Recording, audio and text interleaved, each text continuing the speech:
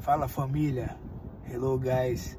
This today was my first day on the IVF journey. The, like I did today, few blood work and then like uh, semi